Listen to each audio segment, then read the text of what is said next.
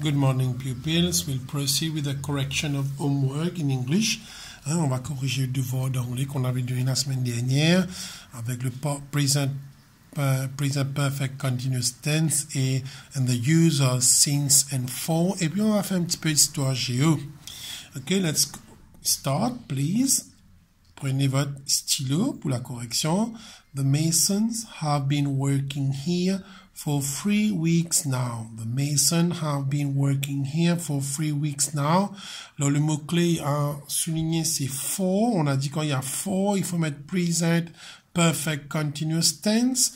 The Mason, on peut remplacer par they. Et quand il y a they, on avait vu, c'est have been et work devient working. Therefore, the answer is the mason have been working here for three weeks now. Let's continue with F. The tailor since this morning. The tailor since this morning. The keyword is since, present perfect continuous tense. The tailor, c'est un couturier, on peut remplacer par he.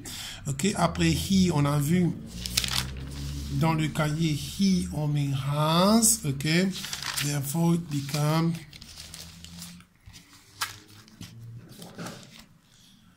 The tailor has been sewing since this morning.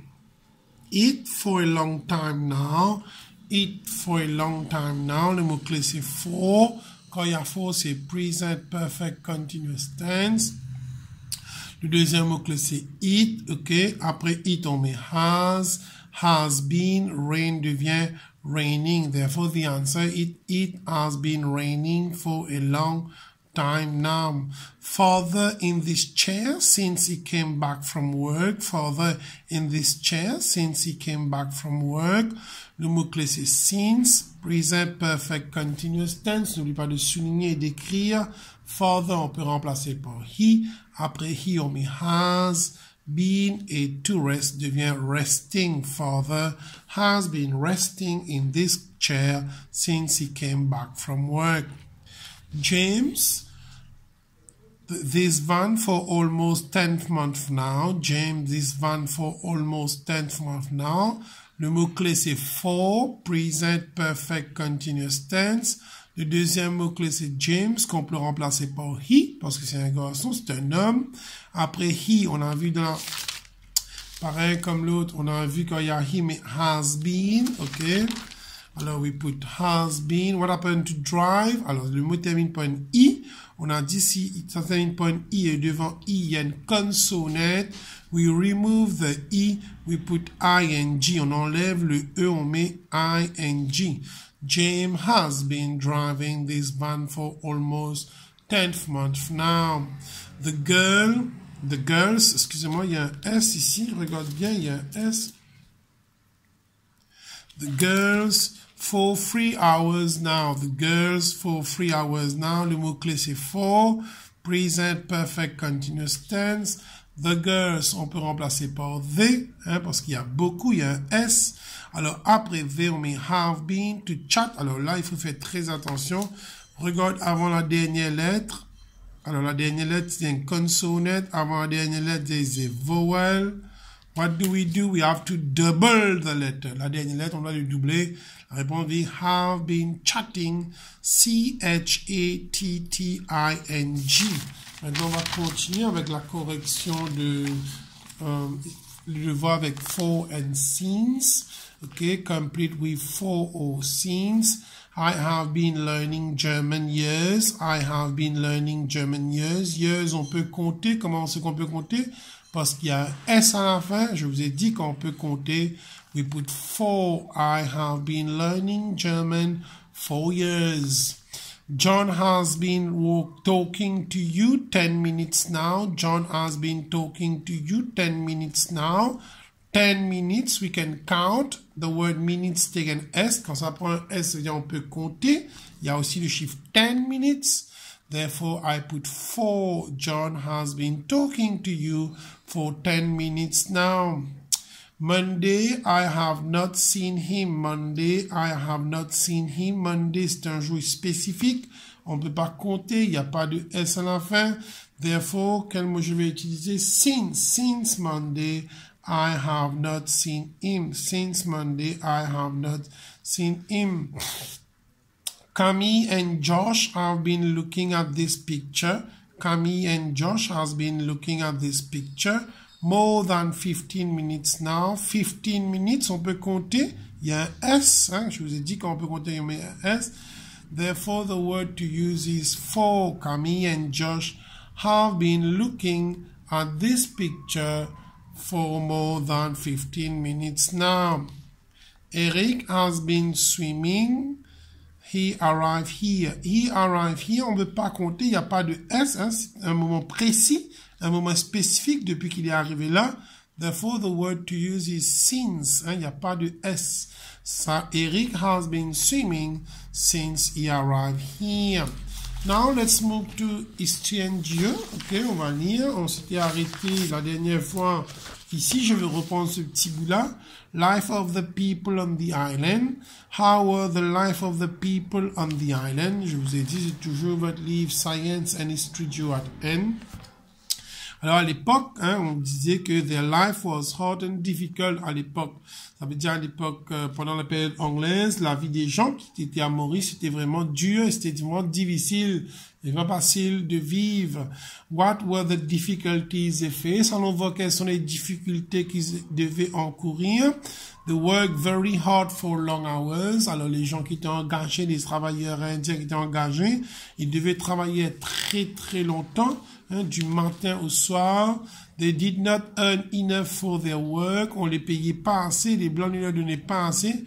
Pas seulement les travailleurs indiens, mais aussi les esclaves qui étaient affranchis. Affranchis veut dire qu'on a donné la liberté. Hein, ils faisaient des menus métiers, mais quand même ça, on les payait très très pauvrement. They did not have proper clothing. Alors, ils portaient pas des vêtements appropriés. C'était pas des jolis vêtements. Peut-être des vêtements, ils portaient ça pendant deux, trois jours. Hein, les vêtements usés, élimés. They were punished for mistakes. Alors, à chaque fois qu'ils faisaient quelques petites bêtises, comme les esclaves, ont déduit de l'argent de leur paye. Alors, c'est incroyable. Ils vont avoir 5 roupies comme salaire, mais ceux qui font des petites bêtises, ou bien ils s'absentent à cause euh, des maladies, ben, on va retirer de l'argent sur leur paye. Social life of the settlers. Alors là, on va voir comment vivaient les euh, les colons blancs, hein, les Français. Hein, les Français, n'oublient pas que quand en 1810, après la, la bataille de, après euh, la capture de l'île Maurice par les Anglais, quelques Français vont rester, hein, quelques fermiers français vont rester, hein, ils vont prendre possession de, de, la, de, d'autres terres et ils vont user des esclaves pour euh, s'enrichir et les Anglais vont malheureusement les laisser faire pendant quelques temps. How did the settlers spend their time before the arrival of Maï de la? Avant l'arrivée de Maï de la que faisaient les colons? The settlers spent their time in drinking houses, à la bar. Hein, ils allaient là-bas, les tavernes, pour aller boire, se souiller et retourner chez eux. Allons voir, c'était là, avant l'arrivée de Maï de la. Ça veut dire avant 1735. Mais avec l'avènement de Maï de la, Maï de qu'est-ce qui va se passer. How did Labourdonnais try to make the life of the settlers pleasant? Alors, voir ce que va faire Marie de Labourdonnais. Labourdonnais organize concerts, dances and social gatherings for the settlers. Il va organiser des concerts, des danses, des balles et des rencontres. Hein. Et pendant ces rencontres-là, ils vont faire de plus en plus de connaissances. Ils vont même arranger des mariages entre leurs enfants pas enfants petits, mais les enfants quand ils seront en âge adulte pour se marier. Pendant ces rencontres euh, sociales, ils vont se, ils vont se faire plus ample de connaissances. Each month, trained soldiers put up shows at the Champ de Mars in Port Louis for the settlers. Je crois que tout le monde connaît surtout le Champ de Mars. Chaque mois, les soldats font des parades, ils font des démonstrations avec leurs hommes au champ de Mars pour attirer les colons français afin qu'ils puissent se socialiser. En haut, by the end of the French period, The life of the settlers has changed. How? Allons voir qu'est-ce qui s'est passé vers la fin de l'ère française. Most settlers lives in well-furnished houses made of wood and stones. Alors, leurs maisons vont changer de, de, de manière. Ils vont devenir des maisons meublées avec des meubles qu'ils vont importer depuis l'Europe. Ils vont construire des maisons en bois. Hein. Par exemple, des maisons avec shingles. Shingles veut dire. Alors, si vous allez à l'arrière de l'église de Pélaval, vous allez voir la cure, là où habitent les prêtres. Alors, vous allez voir que la toiture, hein, le toit de la cure de Saint-Croix est fait avec des bordeaux. Ce sont des morceaux de bois qu'on a placés un sur l'autre, un à côté de l'autre. Et stones, et vous allez voir un, exemple typique, c'est la cure de Saint-Croix, c'est avec des roches taillées. Hein. Vous allez voir qu'il y a des roches qui sont taillées à la main des, des, roches en forme rectangulaire et ces blancs eux aussi ils vont avoir ce privilège d'habiter dans des maisons plus solides. The settlers went to churches on Sundays for prayers. Alors ils vont pratiquer leur religion et arriver les dimanches, ils vont partir à la messe. Une des plus vieilles églises de, de catholiques de Maurice. Alors n'oublie pas que la majorité des catholiques, c'est l'église Saint-François d'Assise à Pamplemousse. The settlers organized then parties on which occasion they dressed fashionably. Alors ils vont organiser des balles, des soirées dansantes pour faire plus de connaissances et ils vont s'habiller convenablement. Et comme je vous ai dit, les vêtements vont venir d'Europe, surtout de France, parce que là on parle vers la fin de French period. Social life of the other people on the island. Allons voir que faisaient les autres personnes qui n'étaient pas des blancs qui n'était pas d'origine française. When, when were places of worship built on the island? Places of worship were built in the 19th century. Alors n'oublie pas, il y avait l'arrivée des musulmans parmi les travailleurs euh, indiens il y avait aussi les hindous et aussi les chinois. Alors on va faire construire des, temples, des covilles hein, pour les tamouls, des mosquées et des pagodas pour les chinois, afin que eux aussi ils apportent leur culture, leur religion, ils puissent les pratiquer comme les colons français. Name the places of worship, build temples, ce qu'on appelle pardon, les Shivala, les Mendil ou pris les hindous, mosques, au prix les musulmans et pagoda au prix les chinois. When did the Indian immigrants gather? The Indian immigrants gather in the evening. Alors les hindous, après avoir travaillé dans les champs, ils vont se rencontrer tard dans l'après-midi. What did the Indian immigrants do during the gathering? Qu'est-ce qu'ils faisaient quand ils ont, se sont rencontrés? The Indian immigrants read their religious books. Alors, ils vont lire leurs livres religieux, par exemple le Mahabharat ou le Ramayana. Hein, sont des livres, ils vont s'enseigner euh, s'enseigner eux-mêmes et ils vont apprendre sur leur religion. How are the social life of the people changed from the past? Comment la vie des gens a changé? Allons voir. People go to the places of worship at any time of the day. Ils pouvaient partir dans ils pouvaient partir comme aujourd'hui on le fait dans nos lieux de culte, à nos deux régions, quoique maintenant avec coronavirus on peut pas partir, mais avant Covid-19 on pouvait aller dans les temples, on pouvait aller dans les mosquées à n'importe quelle heure de la journée. People pray in their respective homes ou tout simplement des gens priaient comme on le fait en ce moment-ci, pendant le moment de Covid, on prie ses choix. C'est chez soi. OK? On continue health. Alors là, il y aura une nette amélioration de, euh, de la santé, de la préoccupation concernant la santé des gens, pas aujourd'hui, quoique aujourd'hui nous avons beaucoup de matériel, beaucoup de, de docteurs, mais à l'époque anglaise, allons voir qu'est-ce que les Anglais vont faire pour améliorer la santé de, des Mauriciens et des immigrants qui habitaient à l'île Maurice. Quand je dis Mauriciens, je veux dire ceux qui sont nés à l'île Maurice. Donc on va lire How did people live in Port Louis? People live in overcrowded others in Port Louis. Alors dans la région de Port Louis, il y avait des maisons, mais les maisons étaient surpeuplées. Il y avait beaucoup de personnes dedans. Il n'y avait pas d'intimité, il n'y avait pas d'hygiène. Et ça, malheureusement, peut causer des maladies. On va voir quelles sont les maladies. Why were there a lot of pollution and mosquitoes? Because there were no proper drainage and canals. Alors, il y avait beaucoup de pollution, de l'eau sale, de l'eau usée, hein, de l'eau pipi, de l'eau tata, et aussi des moustiques. Pourquoi? Parce qu'à pour lui, il n'y avait pas de drains. Un drain était un canal, un de l'eau sale spiralée, hein, il n'y avait pas tout ça. L'eau restait stagnante, les moustiques vont venir pondre dessus et il y aura une prolifération des moustiques dans la région de Port-Louis. C'est pourquoi l'eau stagnante, l'eau qui reste en place doit être évacuée. Why did people suffer from various diseases? Because of pollution and mosquitoes. Alors, à cause de la pollution, les gens vont respirer les sales, hein, ils vont consommer malheureusement des fois de l'eau sale, ils vont tomber malades et aussi avec la prolifération des moustiques, par exemple, si un marin qui vient, qui sort d'un autre pays et il a le, le malaria. Il se fait piquer, vous voyez, le, le, le poste pour lui. Il se fait piquer à pour lui avec un moustique.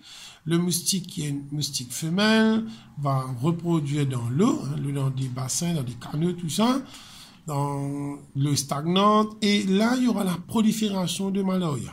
Alors, c'est pourquoi à l'époque, pour lui, était connu comme étant un foyer des maladies comme le malaria. Okay, what diseases were the people suffering from? Alors, il y avait d'autres maladies, mais ces deux-là étaient les maladies les plus répandues. Il y avait le malaria qui est transmis par les moustiques la piqûre de moustiques et la choléra. Et le choléra, c'est transmis par des gemmes, pas seulement les rats, mais aussi d'autres animaux. Hein, ils ont parfois des puces sur eux et ces animaux qui habitent ces, les autres animaux peuvent transmettre ces maladies. Ok, aujourd'hui nous avons des vaccins, nous avons des traitements chloroquine contre la malaria et la choléra, nous avons des vaccins pour se protéger What happened to the people suffering from these serious diseases? Many people living in the town and in the villages of the sugar states die of these diseases. Alors, vu qu'il y avait très peu de médecins, pas d'hôpitaux appropriés comme on a aujourd'hui, les gens mouraient de ces maladies. Alors, je vous donne une petite enquête à faire à un moment donné, quand vous allez pouvoir sortir, il y a un cimetière qui se trouve à Saint-Julien-Village, pas Saint-Julien-Deutemont, à Saint-Julien-Village. Vous allez vous entrer dans le cimetière. Au fond, vous allez voir, il y a des tombes où on n'a plus le droit de mettre d'autres personnes. Je répète, dans le cimetière, on n'a plus le droit de mettre d'autres personnes parce que dans ces tombes, il y a des gens qui ont souffert des maladies contagieuses très longtemps de cela et on a fermé ces tombes, on a, comme je dirais, condamné ces tombes-là, parce que dedans, il se peut qu'il y a encore des microbes qui peuvent trans, transmettre les maladies. C'est la même chose qu'on fait de nos jours. Euh, par exemple, à Maurice, les, personnes qui sont mortes de Covid-19, on les enterre dans un seul cimetière spécifique, c'est à Bigara, Pipe, pour que, et là, c'est bien cadenassé, c'est bien fermé, c'est bien, euh, on dit boulonné, bien couvert pour que les gens ne puissent pas venir creuser ou bien mettre le, corps de leur famille dedans. Parce que, attention, ces microbes-là se propagèrent. The tower this has a few health facilities. How? Because there were few hospitals and doctors to cure the sick people. il y avait très peu de docteurs, il y avait très peu d'hôpitaux pour lui. Alors, malheureusement, les gens mouraient assez facilement. What happened when railways were built? Avec, avec l'avènement des chemins de fer, n'oublie pas, on avait fait ça. Avec l'avènement des chemins de fer, les gens, qu'est-ce qu'ils vont faire? Many people left Port Louis When Railways Were... Alors, ils vont quitter Port-Louis, ils vont peuvent voyager maintenant en train, ils vont partir dans les régions froides comme Phoenix, Quatre-Bonnes, Cuepipe, Beaubassin, plus en, au milieu de l'île Maurice, là où il fait froid. On va voir pourquoi. Where did the people go? The people went to live in Plain William District. Why did they leave? Louis for places in the Plain William district because the climate in the places were healthier. Alors dans ces régions de Beaubassin, Pipe, Moka, alors le climat est plus frais et quand c'est plus frais, les moustiques hein, n'habitent pas dans les régions froides, ben, ils vont pas se proliférer. Hein, les moustiques préfèrent les régions chaudes. Ok, c'est pourquoi si vous allez à Pipe aujourd'hui, vous allez voir qu'il fait très très froid.